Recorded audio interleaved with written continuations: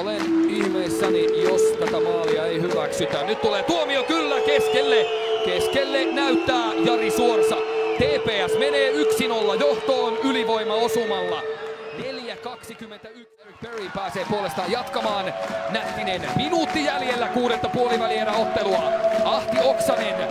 Korjaan Oksanen!